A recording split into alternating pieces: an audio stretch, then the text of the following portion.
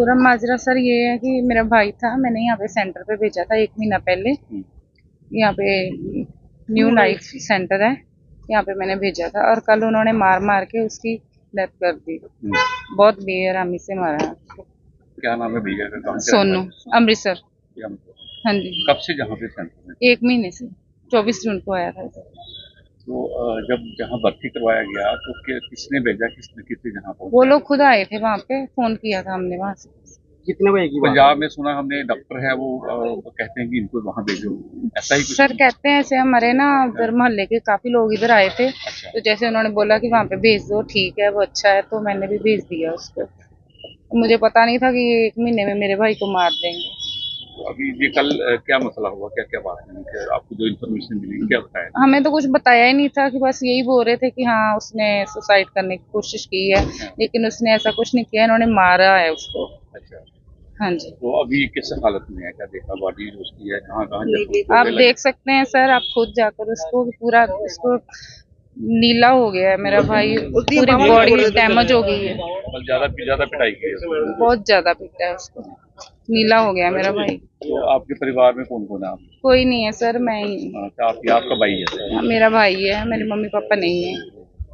तो ये नशे में कब से बता रहे कब से ये नशे में था एक साल से। हाँ, तो चलो उसको मैं बहुत समझाती थी बच्चे अब नहीं समझते थे इसलिए मैंने बोला कि चलो उसकी लाइफ बन जाएगी कि चलो छोड़ देगा सब तो अच्छा हो जाएगा कि मेरे पास तो और कोई भी नहीं है मेरा अकेला भाई था। अ, आपको पता कि ये जो सेंटर था इलीगल था कोई डॉक्यूमेंट नहीं नहीं सर मुझे नहीं इस बारे में नॉलेज थी। किसी जानकारी भी नहीं नहीं सर।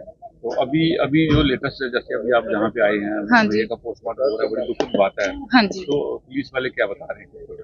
क्या अच्छा ले रहे हैं क्या तो बहुत अच्छा हमारा साथ दे रहे हैं हमें पूरा सपोर्ट कर रहे हैं हैं कि हमें तो यहाँ का कुछ भी नहीं पता था उन्होंने सारा कुछ देखा है। बढ़िया हमने गाइड किया उन्होंने।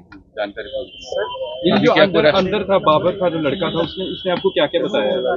भैया उसने सिर्फ़ मुझे फ़ोन किया था ग्यारह बजे कि इन्होंने बहुत बेरहमी से आपके भाई को मारा मारा है और उसकी जान चली गई है। जिन्होंने मारा वो कहाँ पर है? वो चले गए थे। भाग गए थे उन लोगों को भी अंदर बंद कर गए थे। सेंटर बंद करके बाहर से कुंडी लगाकर है है। उनका नाम मुझे नहीं पता उस लड़के को मालूम है दूसरे को। कितने कितने चार्ज दे रहे थे इन्हें इन्हें सेंटर के रखने के लिए? पैसे कितने लेते दस हज़ार। दस लाख तो आपको किसने इन्फॉर्म किया ये सारी बात?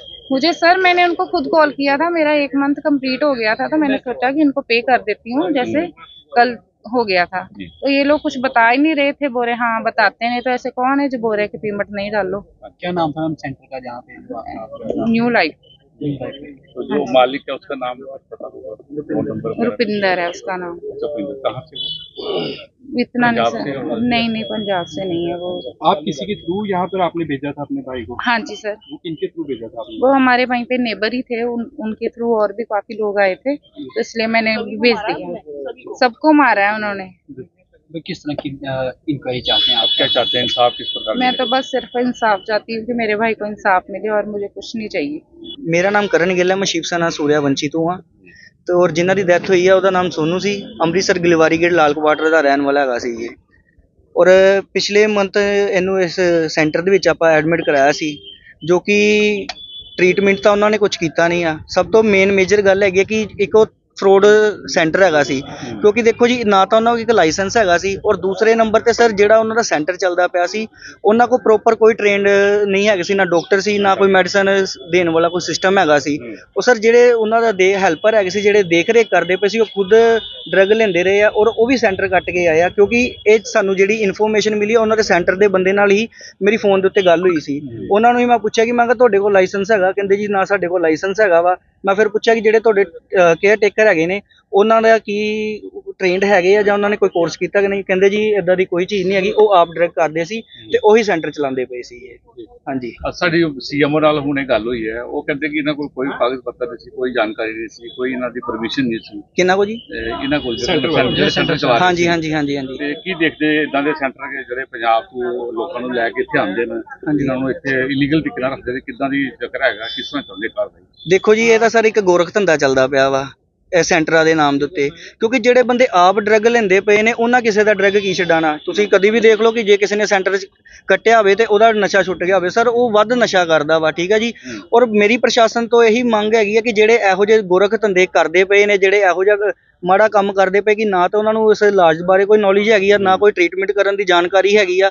ਇਹ ਲੋਕਾਂ ਦੇ ਬੱਚਿਆਂ ਦੇ ਨਾਲ ਖਿਲਵਾੜ ਕੀਤਾ ਜਾਂਦਾ ਉਹਨਾਂ ਦੀਆਂ ਜਾਨਾਂ ਨਾਲ ਜੋ ਕਿ ਤੁਹਾਨੂੰ ਅੱਜ ਪਤਾ ਚੱਲ ਹੀ ਗਿਆ ਵਾ ਕਿ ਇੱਕ ਮਾਸੂਮ ਬੱਚੇ ਦੀ ਜਾਨ ਚਲ ਗਈ ਆ ਕਿ ਜਿਹਦੇ ਸਿਰ ਦੇ ਉੱਤੇ ਨਾ ਮਾਂ ਸੀ ਨਾ ਬਾਪ ਸੀ ਉਹਦੀ ਭੈਣ ਨੇ ਕਰਜ਼ਾ ਚੱਕ ਕੇ ਕਿੱਦਾਂ ਨਹੀਂ ਕਿੱਦਾਂ ਉਹਦਾ ਟ੍ਰੀਟਮੈਂਟ ਕਰਾ ਰਹੀ ਸੀਗੀ ਸ਼ਾਇਦ ਉਹਨੂੰ ਇੱਕ ਨਵੀਂ ਲਾਈਫ ਮਿਲ ਸਕਦੀ।